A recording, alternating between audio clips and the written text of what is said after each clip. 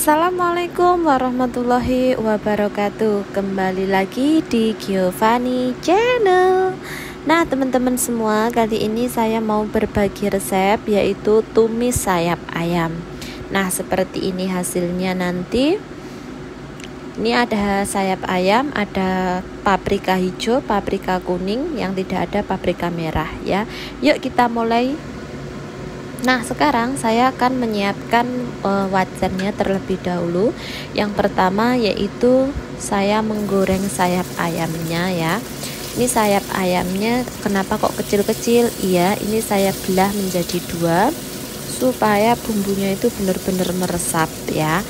Dan ingat ya teman-teman, sebelum saya goreng ini, sebelumnya saya sudah membumbui sayap ayam ini ya. Dan bumbunya saya taruh nih di atas ini ya. Bumbu bumbu sayap ayam. Oke? okay?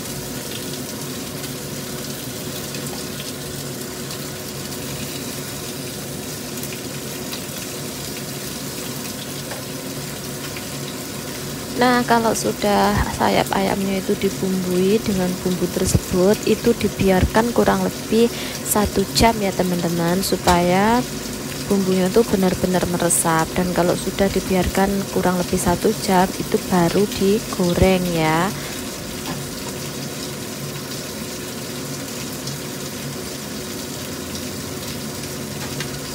Dan cara menggoreng sayap ayamnya itu seperti ini. Jangan terlalu cepat dibolak balik bolak balik ya teman-teman ya.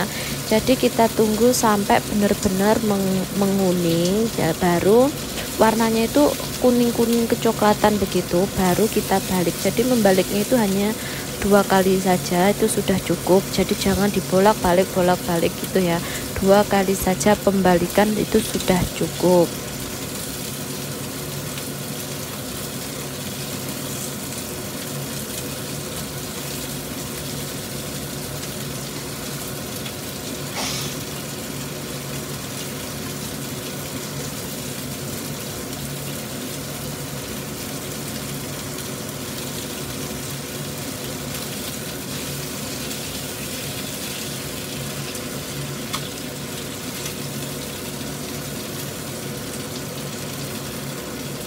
Nah, kalau sudah warnanya itu kuning-kuning kecoklatan seperti ini, ini kita angkat ya. Ini kita angkat, kita taruh di piring dan sekarang kita akan mengoseng bumbunya ya, teman-teman ya. Dan bumbunya itu yang perlu disiapkan ini adalah bawang putih yang sudah saya cincang ya. Bawang putih yang sudah saya cincang dan saya kasih sedikit cabai, irisan cabai ya karena majikan saya itu tidak suka makan pedas makanya saya itu hanya menggunakan bebe hanya beberapa potong saja.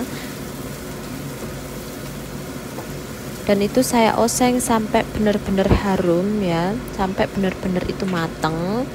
Karena kalau itu belum mateng itu rasanya pun juga kurang mantep kalau menurut saya ya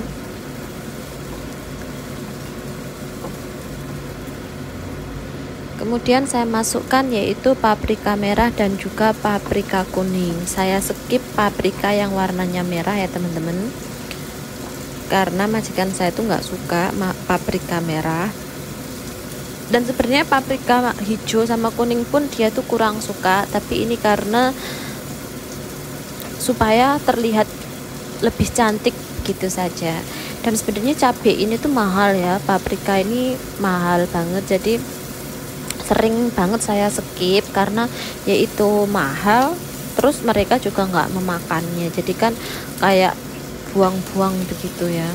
Nah kalau sudah semuanya itu bumbunya itu benar-benar mateng baru sayap ayamnya kita masukkan dan kita oseng-oseng seperti ini ya. Dan jangan lupa dimasukkan yaitu kedelai hitamnya ya oke. Okay. kemudian kita oseng terus seperti ini teman-teman dan jangan lupa kita tambahkan yaitu huyao atau saus tiram ya teman-teman. Jadi e, sebenarnya bumbunya itu simpel banget tidak menggunakan bumbu lainnya tapi kita butuh saus tiram ya. Saus tiram atau huya itu butuh banget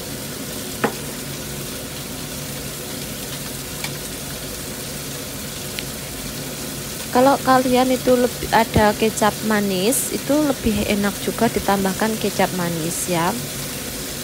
Karena kecap manis itu benar-benar melekat kalau menurut aku di sayap ayamnya. Lah kemudian dioseng terus seperti ini teman-teman. Hmm, ini harumnya pun sudah wah harum banget enak pokoknya. Teman-teman boleh mencoba dan ini simple banget masaknya itu simple kalau bagi orang tua itu bisa dikasih air terus e, ditutup sebentar itu lebih empuk ya. Dan penampilannya seperti ini teman-teman ya. Terima kasih teman-teman yang sudah menonton video ini. Jangan lupa like share and subscribe ya teman-teman. Dan jangan lupa komen ya di bawah ya. Terima kasih. Wassalamualaikum warahmatullahi wabarakatuh. Selamat mencoba